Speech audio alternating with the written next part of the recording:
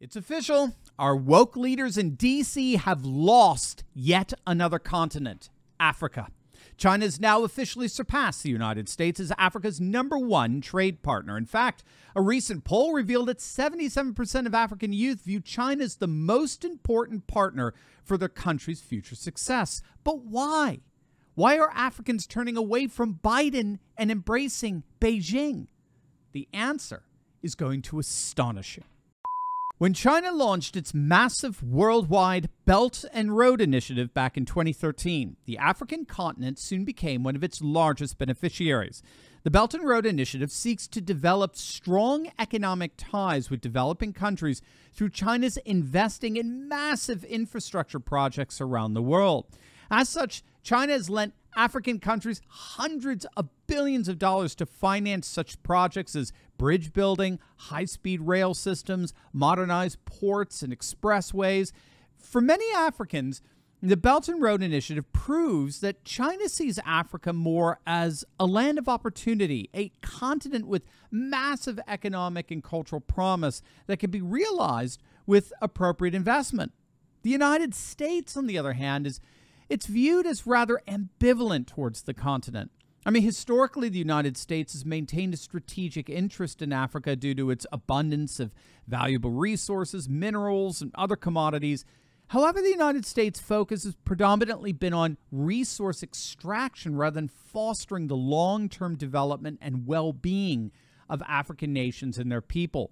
This resource centric approach has limited the U.S. engagement to a transactional level failing to address the holistic needs and aspirations of African societies. China's investments in Africa have manifested in transformative infrastructure projects that have left a visible impact on the continent. China's constructed over a thousand bridges, a hundred ports, scores of hospitals and schools. Moreover, it's developed an extensive network of roads and railways with 100,000 kilometers of roads and 10,000 miles of railway.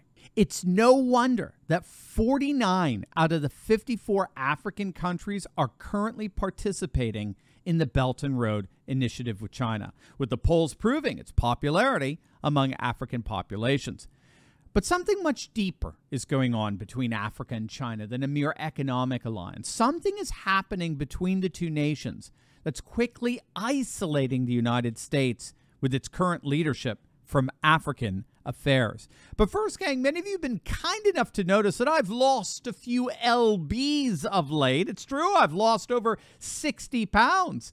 I've tried everything under the sun over the years to lose weight, and nothing worked until I discovered the fantastic nutrition coaching of PhD Weight Loss. PhD Weight Loss is a 100% over the phone nutrition and behavior coaching program I simply cannot possibly recommend enough.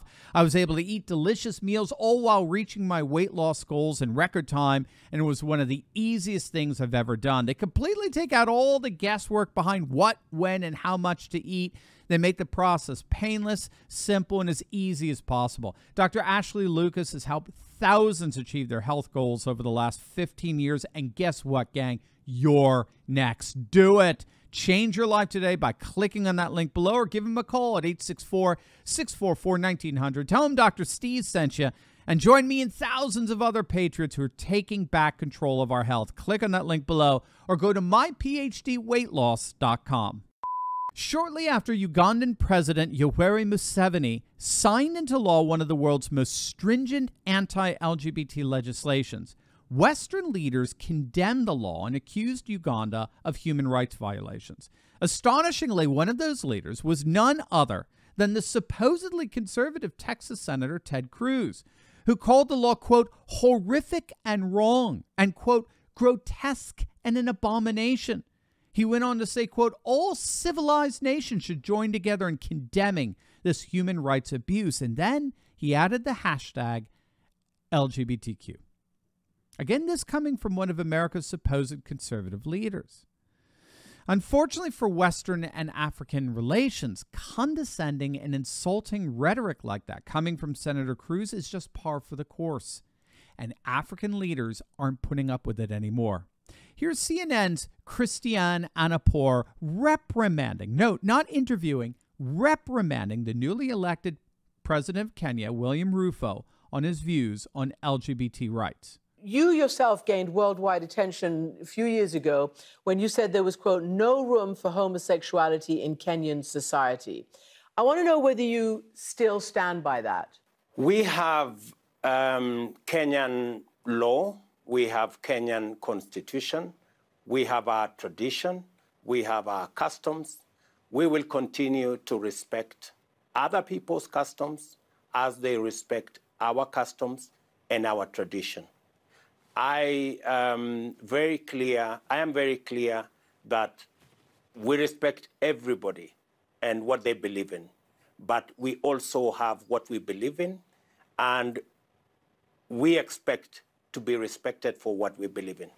So there you have it. I mean, the nation of Kenya has its own laws. We have our own constitution. We have our own traditions and customs. We will certainly respect other people's customs, but only as long as they respect ours. We absolutely respect everyone, but we in turn expect to be respected for what we believe in. In other words, who the hell do you think you are, CNN, or anyone else in the West? to tell us Kenyans how to live.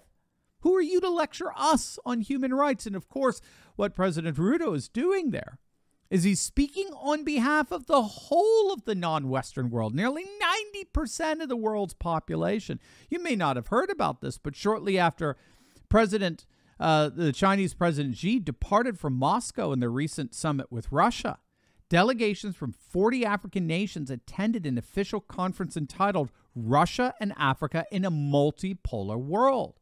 And there, Putin announced that Russia would be forgiving billions of dollars of African debt. And this is key as a gesture of solidarity in their support for traditional moral values and the resistance against the insanity of the woke West. We simply can't overestimate how much nations, such as China and Russia and India and Turkey, are exploiting the West's insane infatuation with wokeness for their own economic and military and political benefit. In many respects, 90% of the world's population wants nothing to do with wokeness, and they will self consciously align with economic and military powers that promise to protect them precisely from that wokeness. For right or for wrong, China is one of those powers, and the West's current degeneration into woke madness is one of the fundamental reasons why Africa, and indeed much of the world, are turning away from the United States and increasingly embracing China, which means that until the West finally does away with its absurd woke antics, China's leadership among the international community as a stalwart defense against such woke values is just beginning. Hey, gang, I know what it's like to feel alone out there in these turbulent times but I broke free.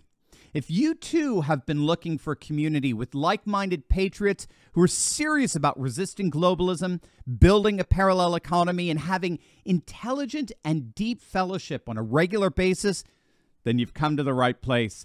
In my Courageous Patriot Insiders community, we're building a close knit movement of, by, and for patriots who are breaking free from the outrage and despair cycles of the mainstream media and taking on the fight against globalism. Every week, I deep dive into the content I can't share on big tech and give you the cliff notes on the truth of how patriots just like you are building up their communities, starting patriot businesses, and fighting the woke in both public and private all with a few history and political lessons from yours truly, of course. If you want to stop feeling alone as a patriot and stand together with this fast growing community, be sure to click on the link in the description below. Don't wait. Join me and my Patriot Coalition today, and let's get fighting.